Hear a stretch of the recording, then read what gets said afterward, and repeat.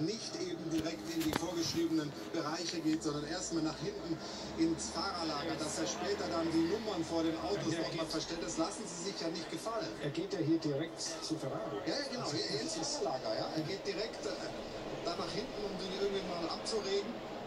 Und der Nummerntausch dann äh, vorne eben vor dem Podium, als er dann wiederkam, da müssen sie das Interview hinterher machen. Ich, ich das alles nicht gut ist und dass das wahrscheinlich auch Konsequenzen für ihn hat, negative Konsequenzen. Aber ich verstehe ihn so gut. Ich verstehe, der hat einen Hals bis Meppen, der, der, der will nicht. Der will nicht vernünftig sein. Ja, ja, du bist da sehr rational. Ich, guck mal da hier, das. Ne?